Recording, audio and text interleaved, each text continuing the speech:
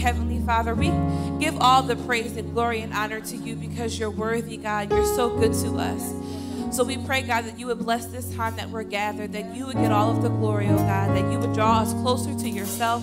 God, that we would see you clearly, oh God. We pray that our worship would be acceptable to you, oh God, and that you would transform us as a result of hearing your word taught to us and being among each other, God, and and worshiping you, God, and lifting up our praise to you, oh God, because we need you, God, and we love you, God. So we bless your name. We say hallelujah. Thank you, Jesus. We recognize you as King and Lord and Savior this morning, and we're full of gratefulness, God. So bless this time. Move among us, oh God. In Jesus' name we pray with thanksgiving. Amen. Amen. Thank you, Lord. Come on, clap your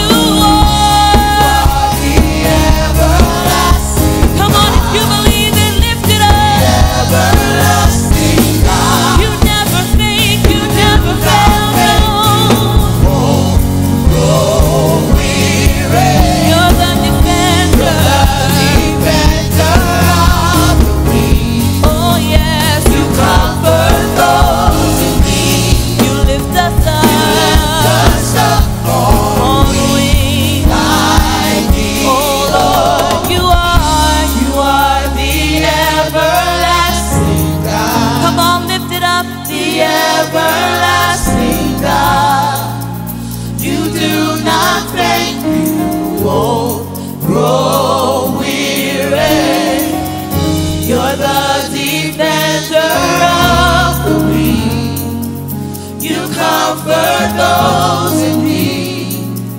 You lift us up on wings like Come on, encourage yourself, sing you.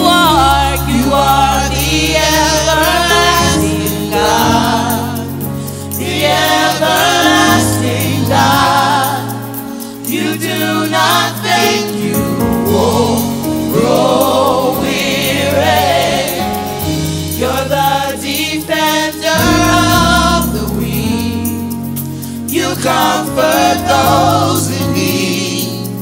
You lift us up on wings like eagles. Come on, lift up your praise this morning. God.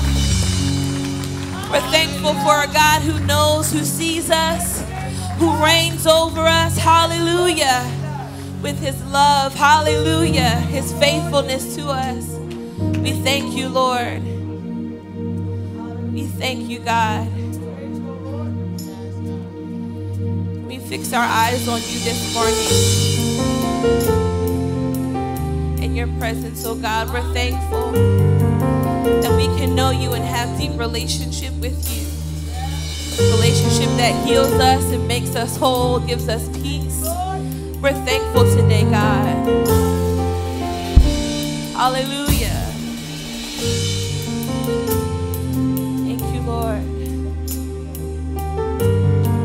Your eyes on the Lord this morning.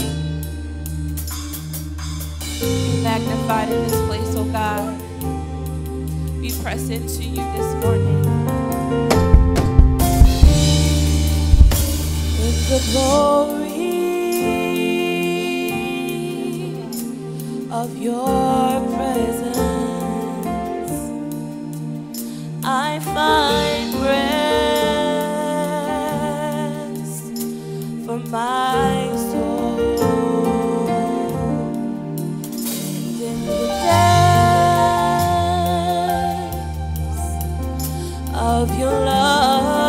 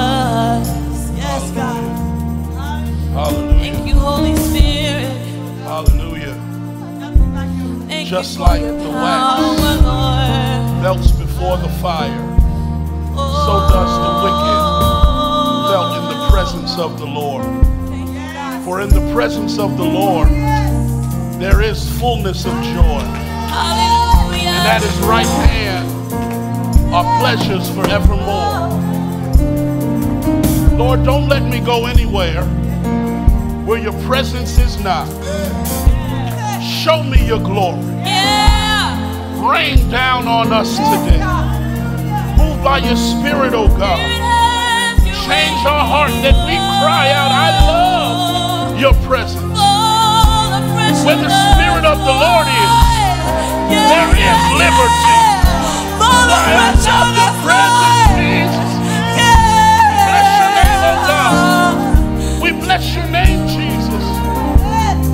you that, that wherever two or three gather and they come together in your name, that there you make your abode. You, you pitch your tent. God, we love your presence today. God, we thank you that you, you meet us in our broken place. Thank you that you sit high, but you look low.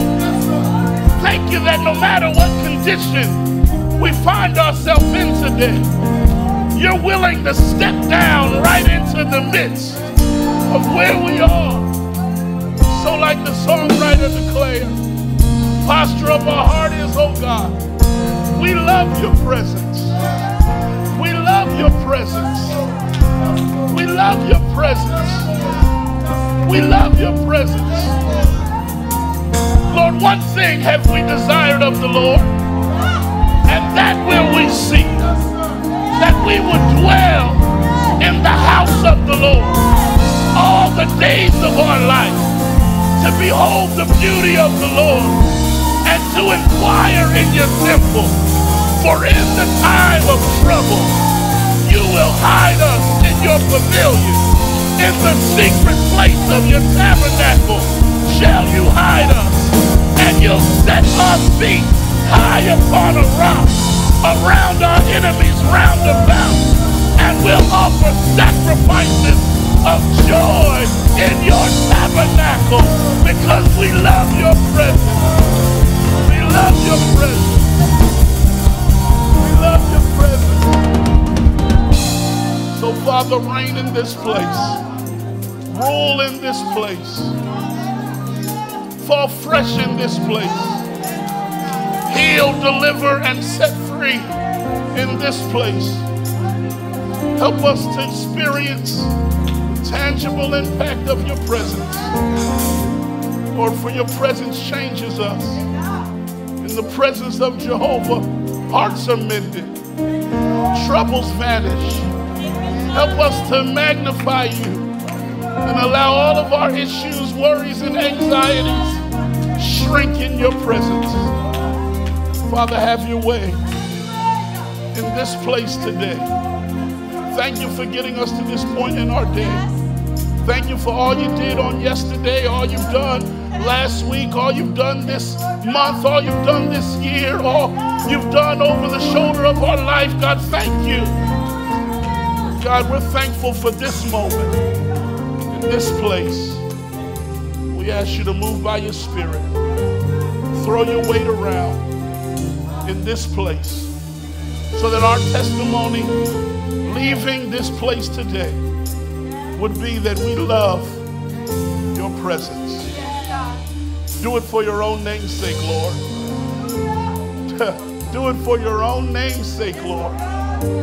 Get all of the glory, all of the honor, all of the praise, all of the adoration, all of the hallelujahs, all of the thank you, Jesus. Everything that you deserve today, we make a commitment even now to give it all to you in this place.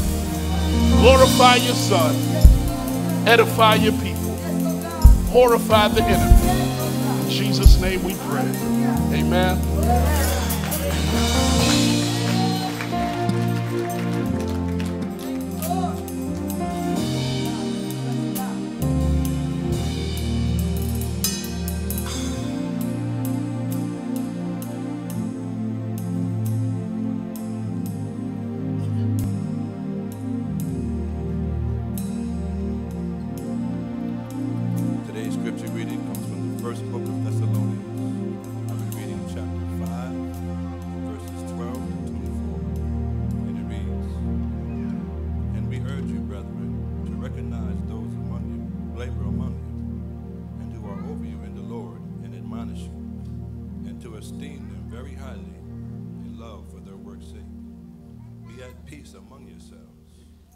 We exhort you, brethren Warn those who are unruly. Comfort the faint-hearted. Uphold the weak. Be patient with all. See that no one renders evil for evil to anyone, but always pursue what is good both for yourselves and for all. Rejoice always. Pray without ceasing. In everything give thanks. For this is the will of God in Christ Jesus for you. Do not quench the spirit. Do not despise prophecies. Test all things. Hold fast what is good. Abstain from every form of evil. Now may God of peace himself sanctify you completely, and may your whole spirit, soul, and body be preserved blameless at the coming of our Lord Jesus Christ. He who calls you is faithful, who also will do it. May the Lord add a blessing to the reading.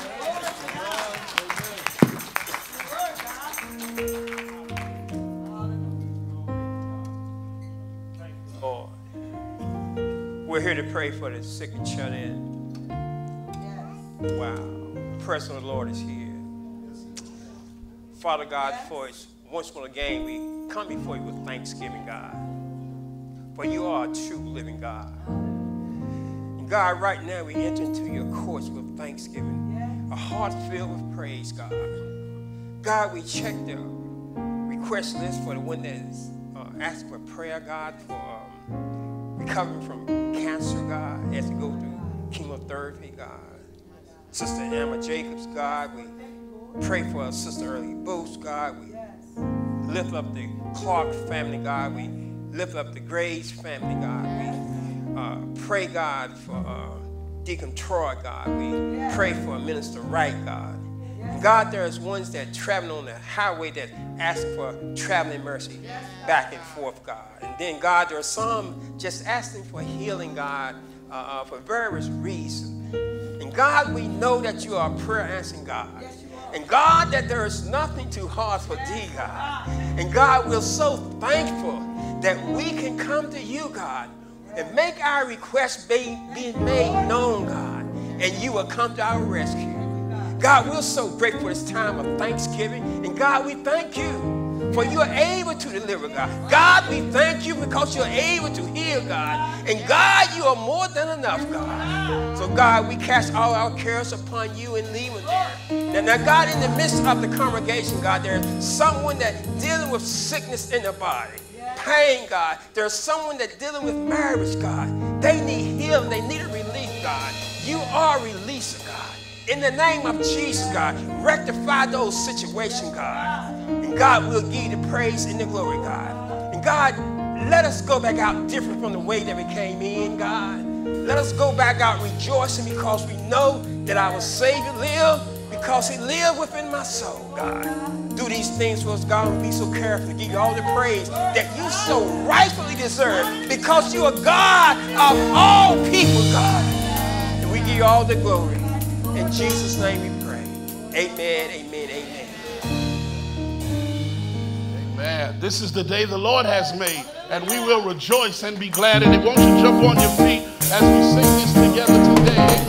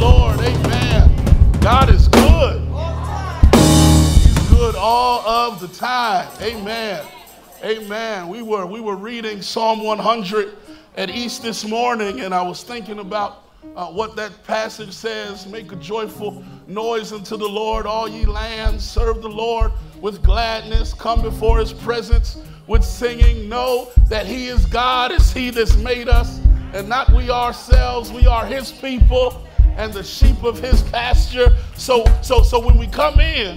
Yes, we come in with thanksgiving. We come in with praise. Why? Why? For the Lord is good. Yeah, his mercy endures forever. His mercy is everlasting and his truth endures to all generations. And uh, this morning we said that, that we give God praise as an act of our will. You know, we, we make a joyful noise to the Lord. That, that means in the Hebrew, make joyce, make noisy rejoicing. Noising, that's what it means. Noisy rejoicing. It, it means, it means sometimes, sometimes you gotta make a little fuss about the goodness of the Lord. Some, I, I know, I know some of you are like, well, I'm reserved and you know, I'm able to just keep my composure. But then I saw you at the football game. No, you know, you know, like you know, I, it don't take all that, Dr. Bettner. You know, sometimes, but but then I saw you when Beyonce came on. It's quiet in the Lord's church. The psalmist says we ought to make noisy rejoicing. In other words, I get uncomfortable around people who say they love God, but can't never give him no praise. Say, say they're grateful for what he's done, but they always got their mouth closed. I wonder if two or three people in the house could say, every time I wake up and open my eyes, I gotta make noisy rejoicing because it could have been another way. It didn't have to be this way. But when I think of the goodness of Jesus and all that he's done for me, I start making noisy rejoicing. Yeah, yeah. Y'all sit down, sit down, sit down. Said it was volitional and it was relational. He said, because watch this, it says that he created everything. He, no, the self-existing one. The one who flung the stars in the sky. The one who put the, the, the, the sun and the moon on the orbit. The one who gave the sun day shift and gave the moon night shift. The one who scooped out the recesses of the earth has separated the firmament from above from the firmament below. The one who with his finger drew the boundary of the ocean. Said, said that he can't come no further. It says we are his people. I belong to him. That's why I can give thanks no matter what I face. Because I don't give thanks for what I got. I give thanks for who has me. Woo! Sit down, y'all. I greet you. I greet you with Jesus' joy. I give you with greet you with Jesus' joy. Watch this. It says, enter his gates with thanksgiving. I came in the building with my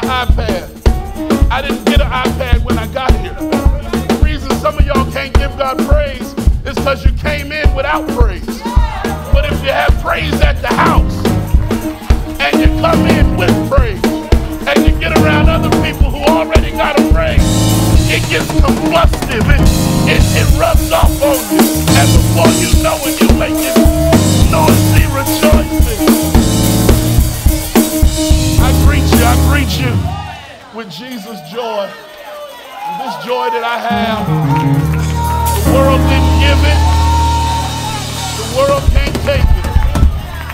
And you already came to church on Sunday morning. You already got up and got dressed and came out to the house of prayer. Why waste the Sunday? Since you're here, you might as well let God hear from you. No, no, from you. With the fruit of your lips. Praise unto our God. Why don't we just take 15 seconds and speak well of him? Out of your mouth, tell him how much you love him. Tell him how much you appreciate him. Tell him how grateful you are for all that he has done. For all, I wish I had some folks could really tell God thank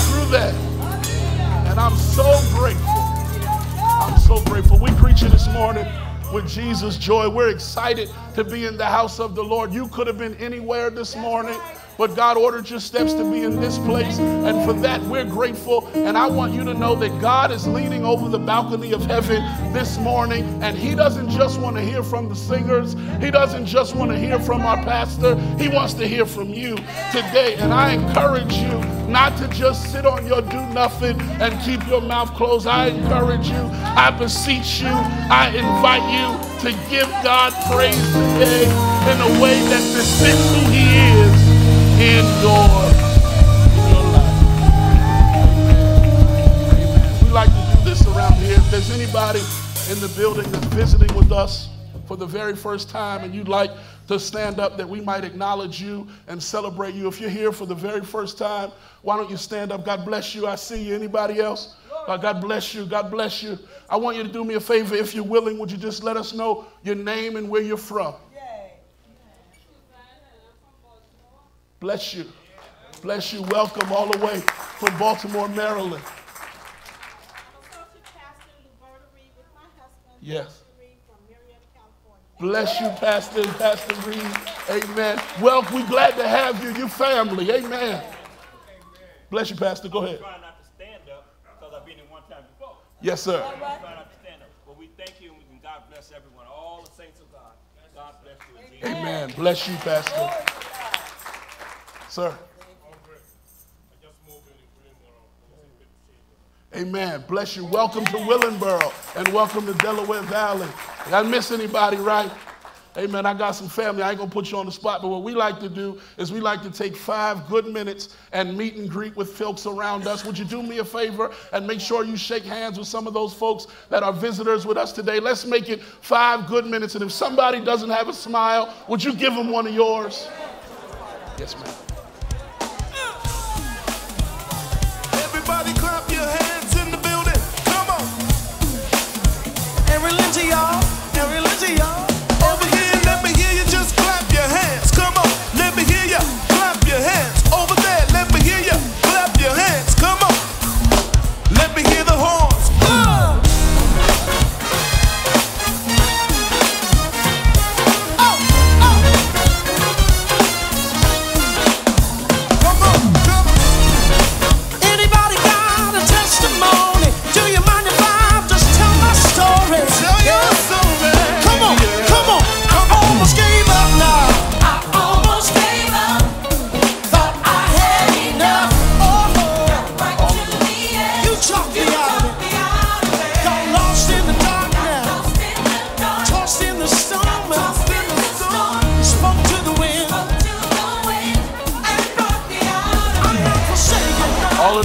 Children from the children's choir. All of the children, would you come on up? Children.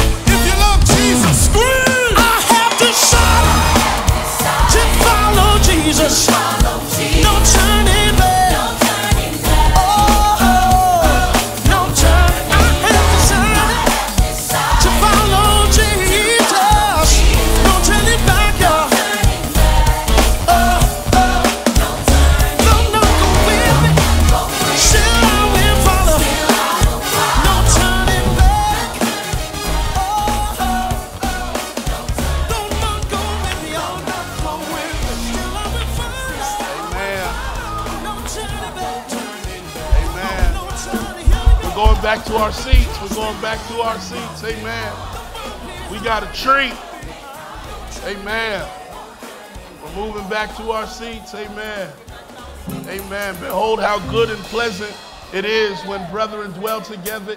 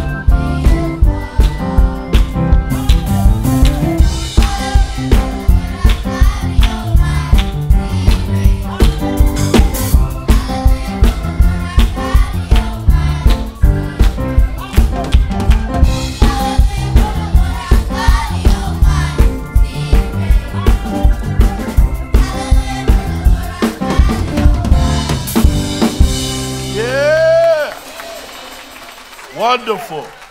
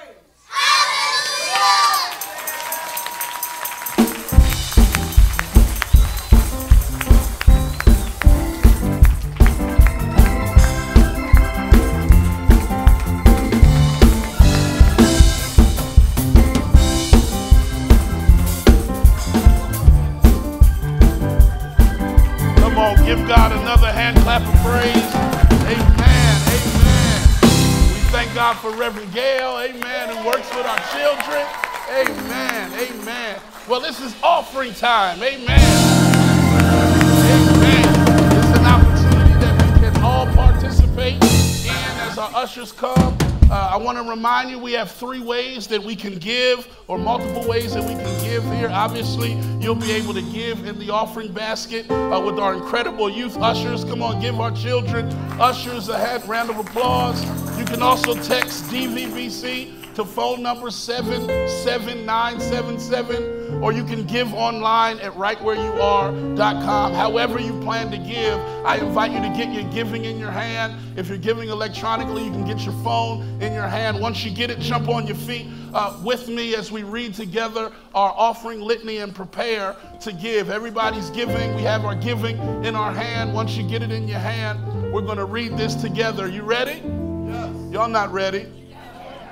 I'm waiting for you. Let's jump on our feet, get our giving in our hand as we prepare to give to our incredible uh, Father, our incredible Lord. Let's read this together. We come to worship with something in our head, a knowledge of who Jesus is, something in our heart, faith and belief in his lordship, and something in our hand. A gift to give to the Lord from the incredible bounty that God has blessed us with and God has been good to, indeed, He has. Father, thank you for this giving opportunity. We pray, Lord, you'd use the resource for the upbuilding of your kingdom. Bless the giver and the gift is our prayer. Help us, oh God, to give you what's right and not what's left. In Jesus' name we pray. Amen. Amen. Amen. These fine folks will take their position. You face the outside aisles and follow the direction of the ushers.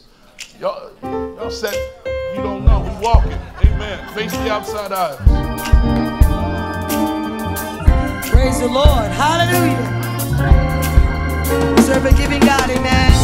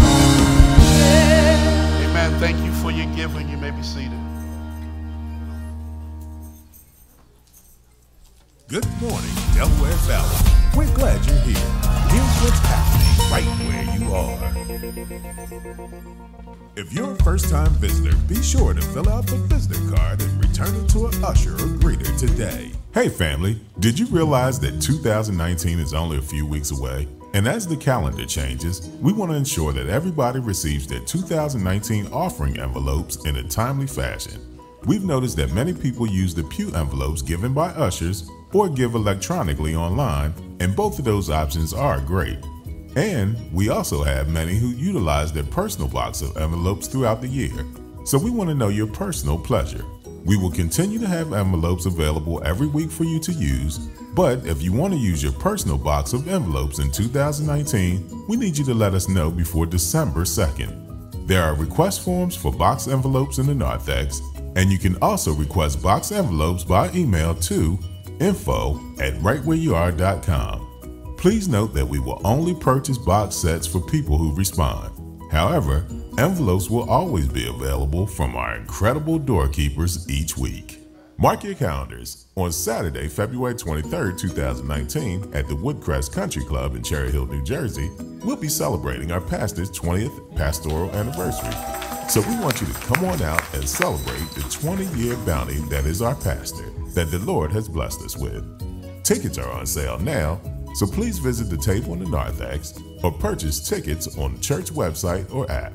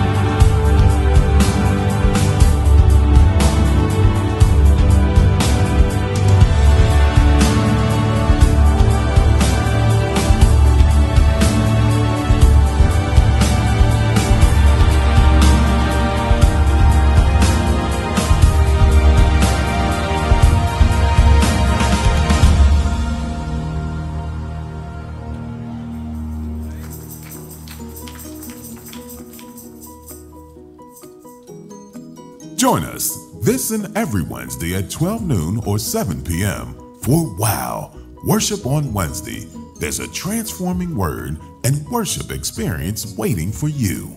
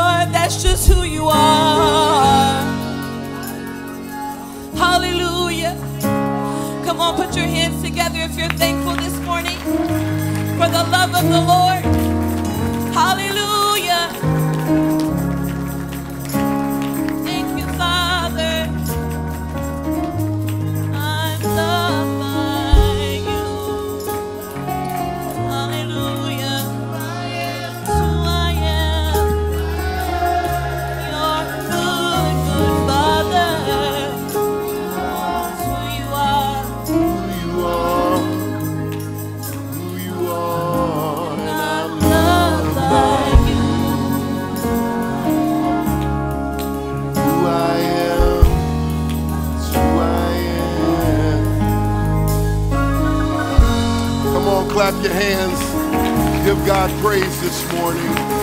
He's a good, good father. Anybody know him to be a good daddy? Come on, if you know him to be a good daddy, give him a real good praise this morning. Come on. Come on, open up your mouth. Come on, open up your mouth. Give him a real good praise. He's been good to us. Hallelujah.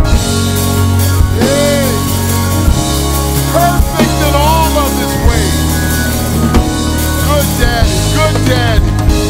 Hallelujah. Hallelujah. Hallelujah. God bless you. You may be seated. Perfect in all of his ways. Hallelujah. Good, good, good Father. Amen. God bless you this morning. Greet you in the strong name of the Lord Jesus Christ. And so very glad to see you all here this morning. We appreciate your presence and grateful that God allowed our days to go forward. Amen. How many know that that really the alarm clock did not wake you up this morning? Oh, some of y'all think the alarm clock did it. Okay. Glory to God. Take that alarm clock to some hospitals and some uh, funeral homes and see if it'll wake anybody up. Nobody getting up. Was it wasn't the clock that did it. The goodness of the Lord allow us to be in the land of the living one more day. Amen. Come on, somebody, give God praise. Amen. Amen. Amen. Amen. I pray that all of you had a wonderful Thanksgiving, a wonderful time with your families. I hope I pray, and I know that uh, the holiday season for some is a very difficult time because we have to deal with that empty chair, that, that place where somebody always was, and they're not there anymore. So I know it's difficult, and uh, the good news is that, that because we got a good, good Father, Amen. He he'll he'll he'll sympathize and empathize with you while you cry, but then he don't leave you there. Amen. He brings you in and say, look, you're never alone. Don't ever, don't ever feel that way. Glory to God. Amen. It's a, a, a great day coming for those of us who are redeemed. Amen. How many know what I'm talking about? Yeah, listen, that's why you ought to be giving thanks even in the valley of the shadow of death, but there's a great day coming. There's a great getting up morning. There's a great celebration. It's going to happen. Glory to God. And we're going to all be gathered around. Glory to God, the throne of God together. I look forward to that day. Amen. And in the meantime, I'm going to rejoice in the Lord right where I'm at. Right through my tears, through my pain, through whatever I got to go through, I'm going to still give God glory give him praise because he has been good in my life. Amen. Glory to God. I don't have to look far to see that the Lord's been good. Amen. Amen. Glory to God. I'm glad that I can remember. Come on, somebody. Anybody remember? Amen. Amen. Yeah. I was out the other day when it was in the teens. And, uh, you know, it was cold and everything, but I was just rejoicing in the Lord. I'm like, God, you good. And I came and I was telling Denise, I said, you know what? It's cold, but you know what? I walked right out and walked right back in the house. I didn't, I didn't have to stand on the corner and wait for the trolley. How many remember that? Stand, stand on the corner waiting on the trolley, like, Oh man, y'all don't know nothing about that. I can tell how you reacted. I, I listen, didn't have to walk four blocks in the cold with the wind blowing. Walked out my door, I could get in my car, close the door, turn the heat on. Come on. I remember, that's all I'm trying to say. when I remember where he found me, I'm all right about where I'm at. Come on, somebody. amen, amen. Remember walking blocks to get to the subway. Glory to God, just to get on the train. Had to freeze to death to get to the subway. Come on. Y'all don't, y'all don't, y'all still don't get it. Y'all still don't get it. Amen. We we take yeah, we take so much. We got so we got it so good. We got it so good. We we just take it for granted, man. Come on, somebody. And some of some of these some of the younger people, they have no clue what I'm talking about. They they never been cold. Amen. I know I know I'm right. They don't, they don't know what it means to be cold. For real. But uh, God is good. He's faithful.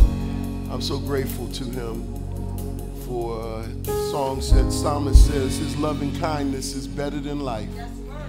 And I believe that with my whole heart. We thank God for you. Like I said, I pray you had a good Thanksgiving. We're going to dig into the word in a few moments. Let's thank God for the young people standing on the door today. God bless you guys. Appreciate everybody serving in the house of the Lord on today.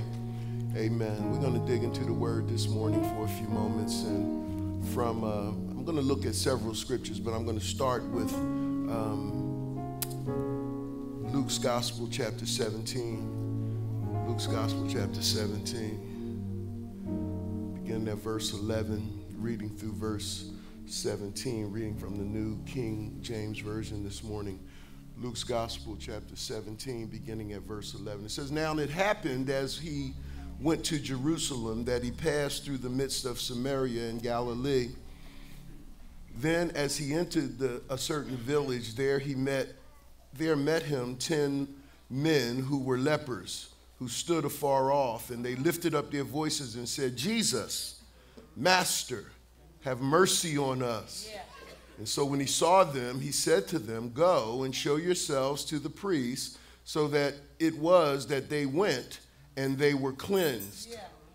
And one of them, when he saw that he had been healed, he returned and with a loud voice glorified God and fell down on his face at his feet, giving him thanks. And he was a Samaritan. And so Jesus answered and said, uh, were, were there not ten cleansed?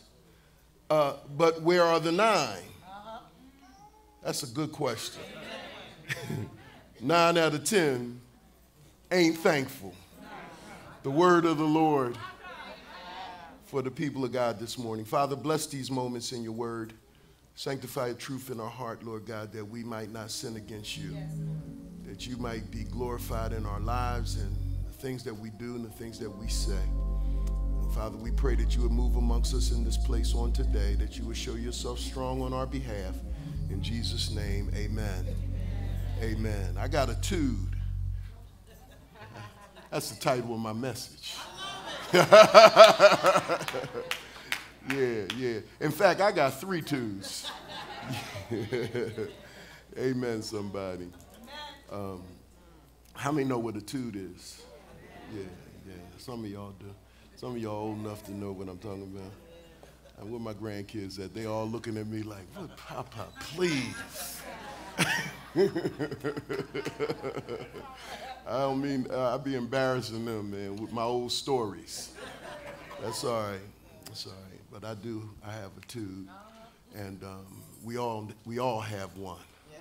Amen. I want to talk about three three twos in the context of this text in Luke chapter 17. This is an interesting story. Some of you guys know the story from Sunday school. Some of you know it because you study the scriptures, and some of you don't have a clue of what it's all about. But it's a story about Jesus passing through uh, a village um, that was a, a Gentile village. It was a, a group of people that were not uh, a part of the Commonwealth of Israel. They were not redeemed people. They did not possess the law of God. They did not have the word of God.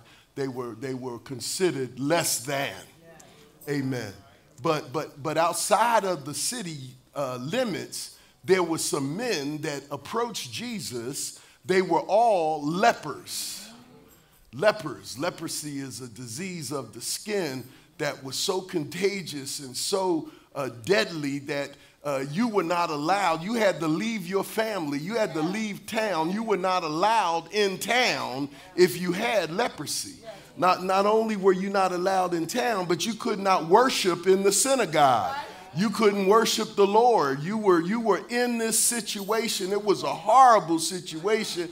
Ultimately, it was deadly it would take your life. It was a, it was a terror. It, it, produced not only sores and boils on the skin till your limbs fell off, but it produced an odor that was repugnant. It was not a good place to be, a leper. It was not good to be a leper. And in fact, in the Jewish law, it was so that if you had leprosy and you were walking down the street and you saw other people coming, you had to make an announcement to them unclean unclean so that they could cross the street. They wouldn't have to come near you. It was, it was a deadly disease. And, but, but what's interesting about these 10 men, we know that at least nine of them was Jews. Amen. They were a part of the commonwealth of Israel, and, and so they, they understood the law of God, but one of the guys was not. He was not. Amen, somebody. You know what? I'm going to tell you something. When you're in, in a terrible situation and folk, other people in a terrible situation, all y'all in the same boat. Nobody checking for your green card. Amen. We just see everybody as the same, okay, in that situation. So Jesus uh, is approached by these 10 men and they, they cry out to him. I love the passage because they didn't really ask him for nothing. You know, if you did you notice that? And he entered the village where he met 10 men who were lepers who stood afar off, and they lifted up their voices, and uh, what they did say was, Have mercy on us. Amen. How many of you ever cried out to the Lord to have mercy on you? And when Jesus saw them, that's the kind of prayer the Lord, the Lord loves. You know, the Lord is not crazy about all these prayers about give me this and give me that. Come on. My mom would say, and give me the yellow cat. Uh, God's not all that impressed with those prayers, but He is impressed with the prayer that says, Lord, have mercy on me because I'm a mess. Ain't nobody, ain't no messes in the building. Have mercy on me because if you don't have mercy on me, I'm done. God hears that. Amen. Because your heart is in the right place now. You're in a position to be blessed. How many know you got to be in the right position to be blessed? These men, they cried out to Jesus, they lifted up their voice, say, Jesus, Master, have mercy on me. And you know, sometimes you got to be at the very bottom before your eyes are open. Come on, somebody. Some, some, sometimes, you know what, it don't matter who in the boat with you, we all sinking. We all about to drown. And, and listen, Master, you know, you know Jesus differently when you in the in the bottom of the ship and the ship is sinking. Amen. Some of us we sing songs about Jesus like he's a, a friend of ours. Come on, somebody. We don't see him as master, ruler. Come on. God himself, we just see him, oh, he's really a nice fella. Hey, Jesus, we love you. Hey, Jesus, you're nice. Uh, No. When you in when you in the bottom of the ship and the ship is about to sink, you see Jesus differently. Jesus, Master, have mercy on us. We are hopeless and helpless without you. There's nobody nowhere that can help us other than you. Master, have mercy on us.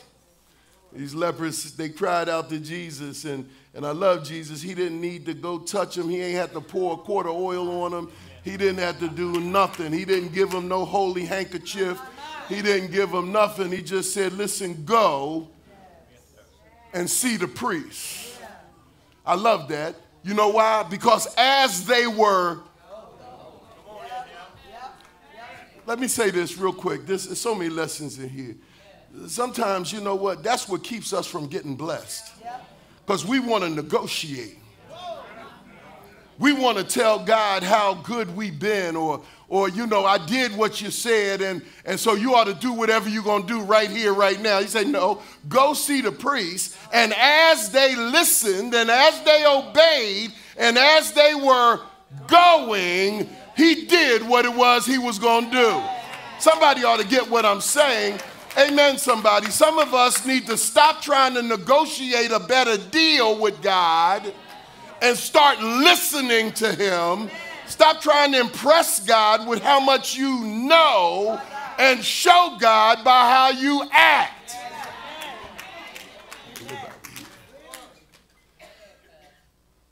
And so forth, verse 14. And so he saw them, and they said, He said, Go and show yourself to the priest. And so it was that they what? Went. And they were cleansed. It wasn't that the priest was going to cleanse them. That's probably what they were thinking. We get to the priest, the priest is going to do something.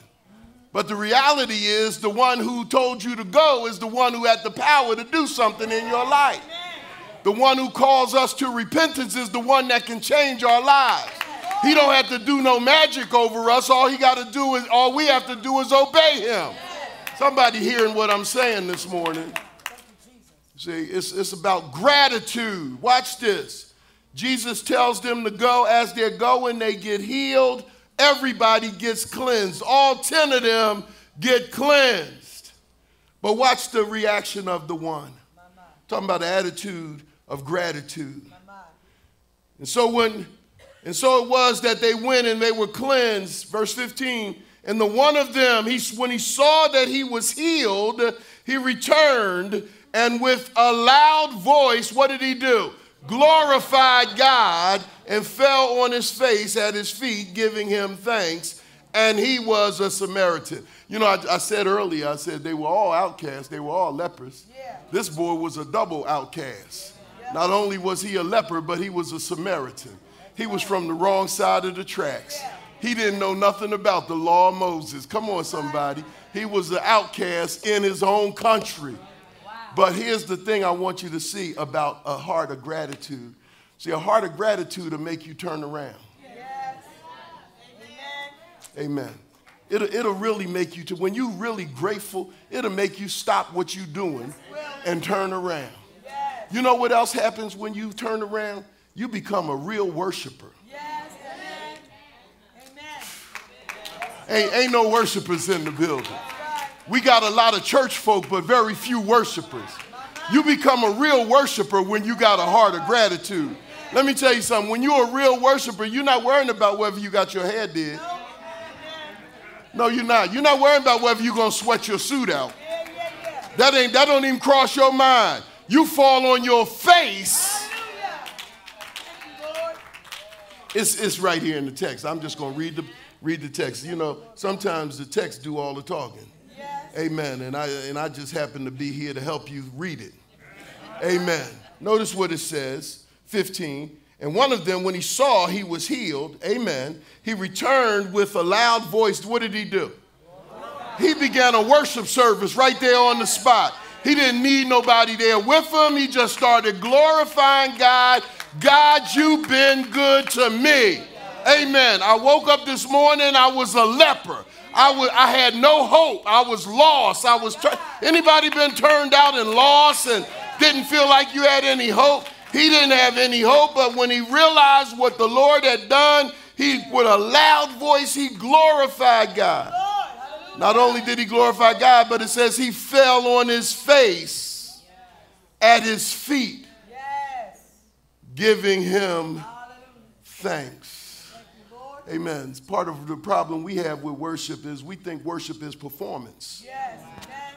Amen. We think we performing and it ain't performance. Worship ought to be birthed out of the relationship that we have with God.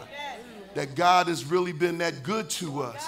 My worship is not uh, predicated on the fact that I'm the pastor. Amen. My worship, I have worship because of what the Lord has done and how he has adopted me. Anybody adopted in here? He's adopted me in his family. Not that I deserve to be in his family. Not that I earned it. Not, not that I did a whole bunch of real good stuff. People can say he's really a good guy. He's done a lot of wonderful things in the community, and I, that ain't why.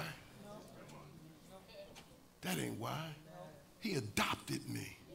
He was able to look at my stuff, all of my stuff. You got stuff. Don't sit there like you don't have no stuff.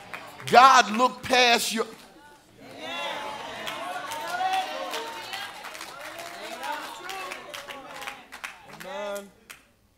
This one guy, and I like how that, that verse finishes. It says, and he was a Samaritan. Yeah. He was a double outcast. Yeah. Maybe sometime, you know, you got to really be at the bottom to appreciate what the top is like. Yeah. Amen, somebody. Amen. Some of us, we've had it so good, been so well with us. Mm. Pastor, could you turn the, turn the heat down? Because they, these folks sleep. Hit that, hit, that, hit that thermostat for me. Turn the air conditioner on. Amen. I ain't, I ain't joking though. Y'all laughing, but I ain't joking. Amen. Amen. We have, we, we have it so good, we don't, we don't realize how blessed we are. Come on. We, we, uh, we, we really, sometimes I watch folk and it's like we doing God some kind of favor. Right. Well, he ought to be happy I'm here. No, I, why? Why should he be happy you here? That's right. You better be happy you here. Not him. We, we reverse it. We flip it. We want God to be just satisfied. I, I, I'm in church. What do you want from me? Oh, that's how you feel. but this guy, everybody else went on about their business. They was all in the same boat. They was all lepers. They were all dying. They had no hope in the world. They cried out to Jesus. Jesus intervened on their behalf. He's done that in my life for many a time. Intervened on my behalf. And you know what? 20 minutes later, I'm walking around like I did something. Yeah, I was lucky. No, you wasn't lucky, buddy. God's been, come on, somebody. Attitude, gratitude leads to, comes from an attitude. Whether or not I'm grateful, it springs out of a attitude of my heart. Uh, I use this definition that um, I don't know if it's original to me, but I said the attitude is a outward manifestation of an inward disposition. See, even though I'm going through a difficult time, I think I'm entitled to be doing better. So if God blesses me and I do better, I ain't grateful.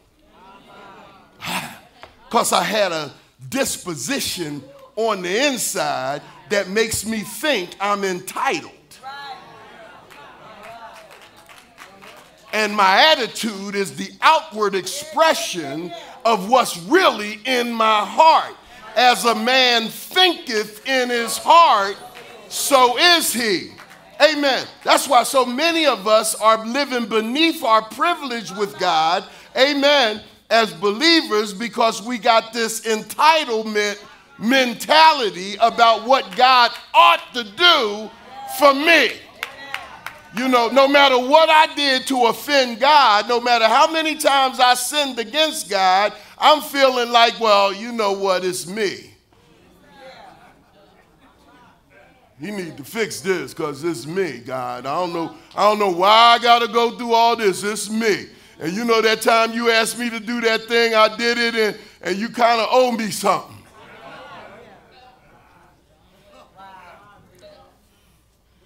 It's, it's, it's, it's the attitude that blocks your gratitude. Something's got to change inside of us. Now, Notice this, just, just dealing with, with this, this idea of attitude.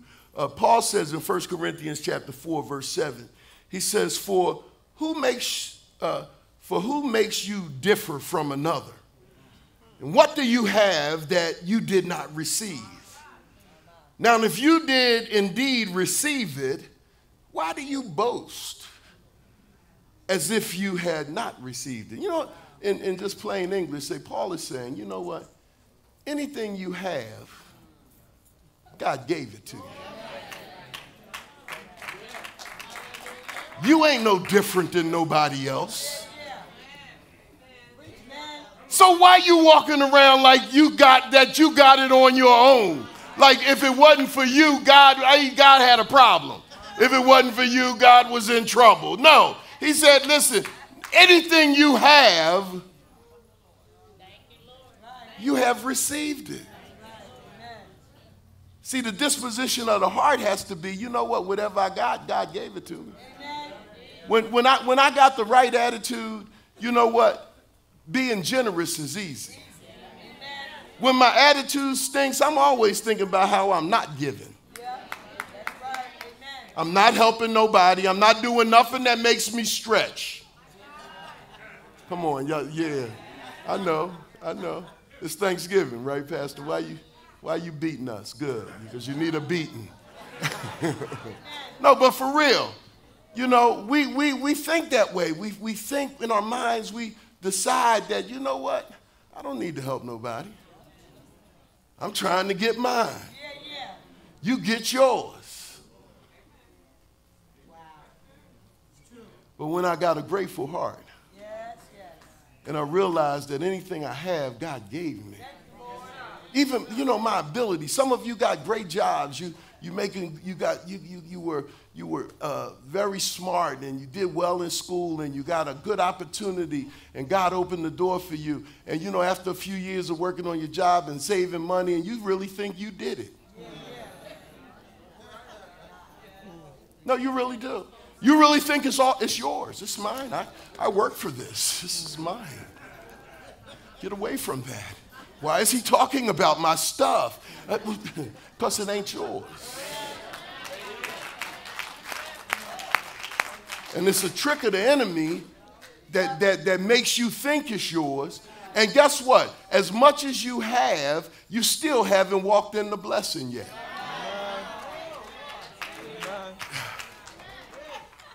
Why? Because you self sufficient.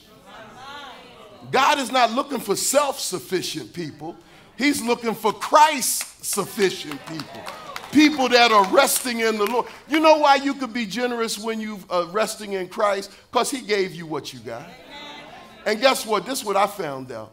If He gave it to me before,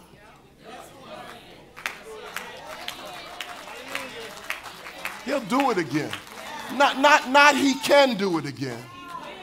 He will do it again. Amen.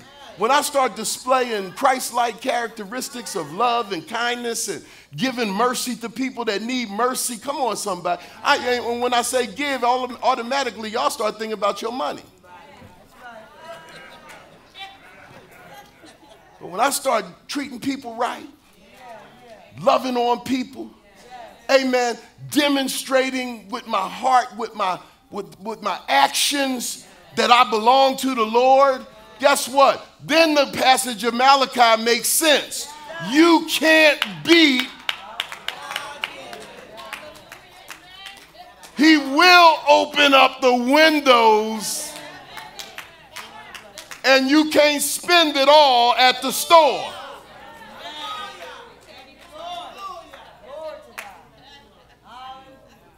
Paul said, What do you have that you did not receive? What you got in the bank? Somebody didn't give you. Then why do you walk around acting like it's yours? Like you did it. See, it's an outward manifestation of a condition of the heart. And what we need is God to change our hearts. Then we can really have thanksgiving. Then we can really give thanks to the Lord. Amen. And it won't just be while we sit around the table on, on the third Thursday of, the, of November and we fourth Thursday of November and we'll call it Thanksgiving. No, it'll be every day. Every time I open my eyes. And it's still called today. Come on, somebody. That's Thanksgiving. Every time I see my loved ones. And we listen, and we able to hang out with each other and share a meal together. That guess what? That's Thanksgiving. Come on, somebody. Every time I can get up in the morning and walk myself to the bathroom and glory to God and turn on the shower and clean myself up, go in my closet and got several choices as to what I want to put on. I'm going to tell you something. That's a day of Thanksgiving. Amen. I said it at the beginning. Every day I don't have to go stand on the corner and wait for the on the 23 trolley to come down Germantown Avenue. That's a day of Thanksgiving. Anybody hear what I'm saying? It's a day of Thanksgiving. What do you have that you have not received? And if you received it, why do you boast as if you didn't? Why do you act like you entitled? Gratitude, attitude, and the third one is altitude. You know, with, a, with the attitude of gratitude, God will take you higher than you ever been. Amen. He'll take you farther. He'll give you a view of life that you've never seen before. The reason most of us having trouble is because we can't see. Amen. Come on, somebody. We walk around bumping into stuff. God says, I want to lift you up above all of that foolishness. I want to give you the long view. Amen, somebody. You know, as a pastor, part of what we do is we pray and ask God, God, show us the long view.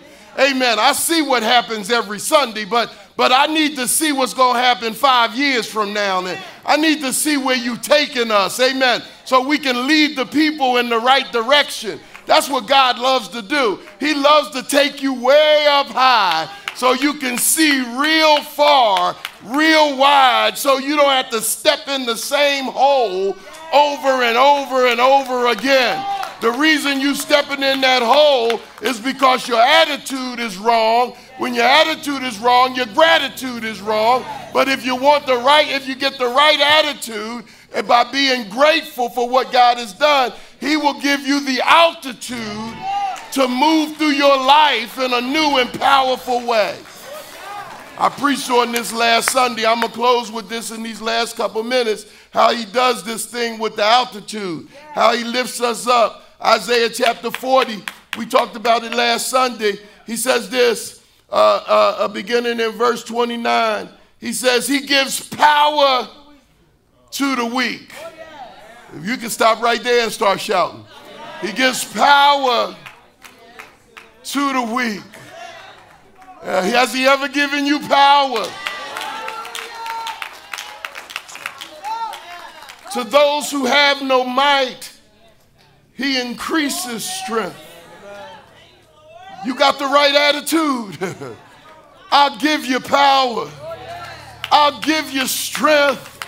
I'll give you might. But you got to be right in your thinking. Stinking thinking to keep you from getting where I want to take you. Come on, somebody. An attitude of gratitude will lift you high above your circumstances. Even the youth shall faint and be weary. How many know how you how many have kids? And you know, you get up in the morning and they start running. They start playing. They in everything. Look like you you be trying to get them to take a nap. Take a nap. Not sleepy. Not tired. They got to run until they just tilt over. Boom. Now they now they sleep.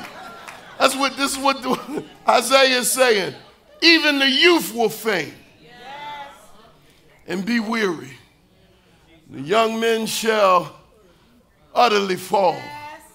You watch these young men playing professional sports, running up and down, and glory to God, and getting fit so they can play their sport. And some of us look at them and like, oh my God, I'm tired just looking at you. Do what you do. Anybody know what I'm talking about? Glory to God. How many remember when you could run like that? Amen. Play ball from sun up to sundown. Mom had to come looking for you. Boy, get home. Got something for you to do. Oh, mom, want to play some more. Even the young men shall utterly fall. Can I get a witness here? But those that wait upon the Lord, this is God's promise to his people, shall renew their strength. ah, they shall mount up with wings like eagles. Thing I love about an eagle is the eagle don't get caught up in the clutter. Come on, somebody. He flies at, if everybody else flying at 2,000 feet, he goes up to 5,000 feet. He don't get caught up in all the noise and all the foolishness. He gets up above everything. Then he can see far as he needs to see. He can spot that mouse running on the ground. Come on, somebody, at a mile away. And he knows where his next meal is coming from. Can I get a witness? He ain't worried about where he gonna eat because God has lifted him up above everything. He knows where his next meal is coming from. Anybody listen to what I'm saying? That's part of our problem. We can't see nothing, so we don't know nothing. And we act just like we don't know because we can't see. God says, I'm gonna lift you up.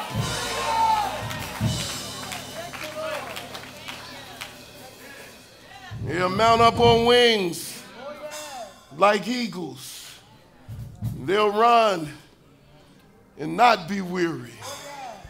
They'll walk and not faint. You got to have the right attitude to get the right altitude. When you get the right altitude, you can see where you're going. Come on, somebody. You can see the enemies and his plans. You can see the ditch that was dug for you. But when your attitude is stinking, you just gonna step in the same hole over and over and over again. When you think that God owes you something, you're gonna find yourself in the same predicament that you was in the last time. How many ever been in that predicament before? and said to yourself and anybody that would listen, I'll never be in this spot again. God, if you get me out of this, I won't do it again. But somehow we wind up in the same old hole.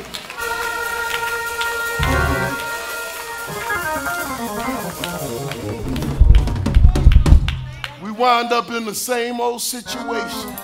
It's because we got our head down. Story was told about the baby eagle that fell uh, in the chicken coop. And the mother chicken saw the little baby eagle and she nurtured the, the baby eagle. She let him sit underneath her like all of the other animals.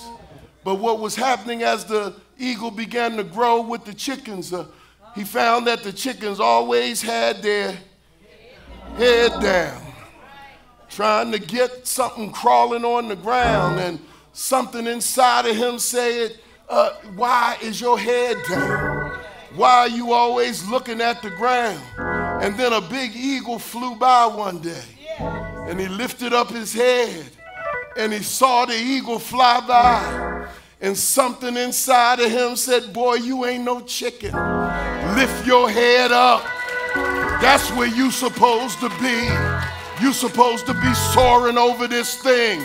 That's what I'm trying to tell you today. You got to lift your head up. You got to stop thinking you just a chicken. God made you to be an eagle. He wants you soaring over your circumstances. He wants you above and not beneath. He wants you over and not under.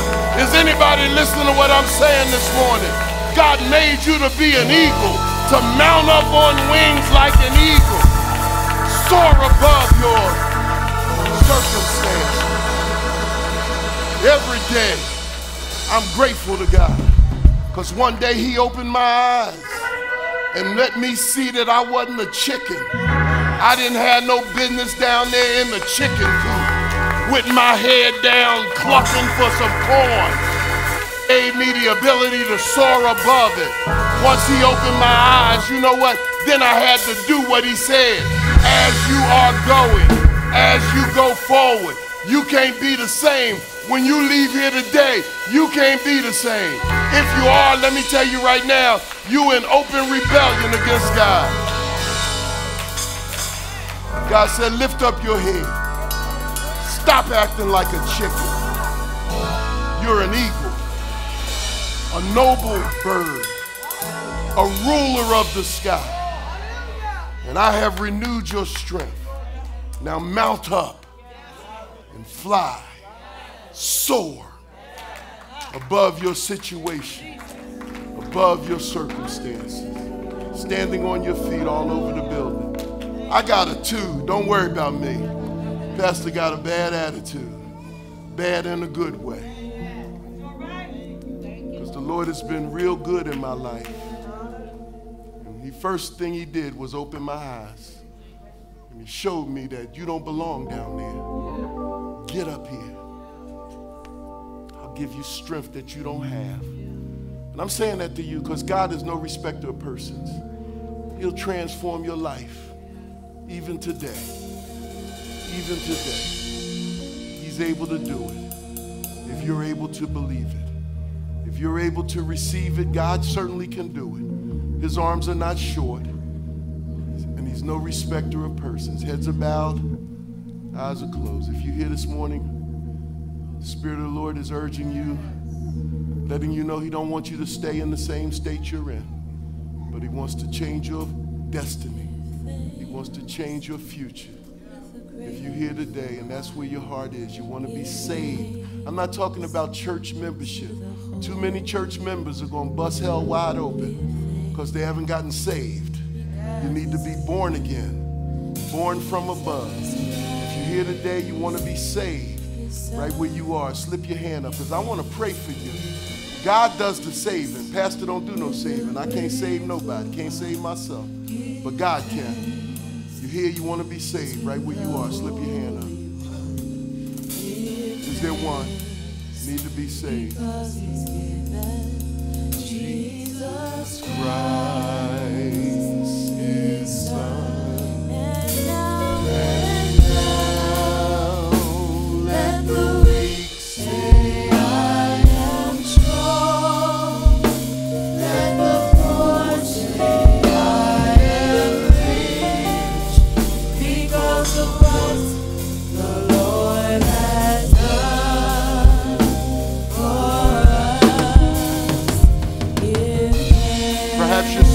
outside of the church, you don't have a place to belong.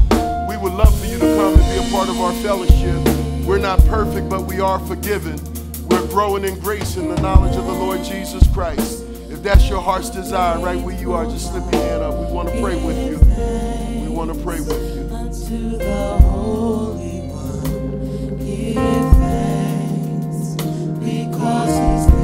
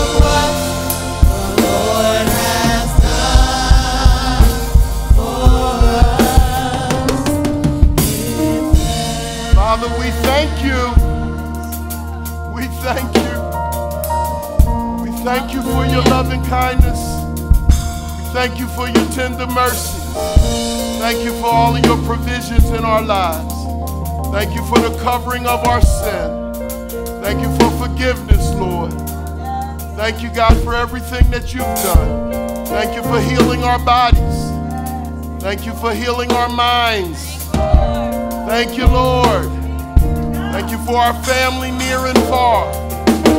Thank you for our friends and our loved ones. Thank you for our church family. Thank you for this great country we live in. Thank you for our leaders, Lord. Thank you, Lord, that you're doing a work here. We don't get it, we don't understand it, we don't claim to. But we believe that you sit high and you look low, that you rule and you super rule, and that there's no authority above you. Our hope is in you and not in another. Now, God, as we go up from this place with hearts of thanksgiving, go before us, be with us. May the grace of the Lord Jesus Christ, love of God, and the communion and fellowship of the blessed Holy Spirit be our portion now and forever. And all of God's people said, Amen. Amen. Amen. God bless you. God bless you one and all. Go in peace.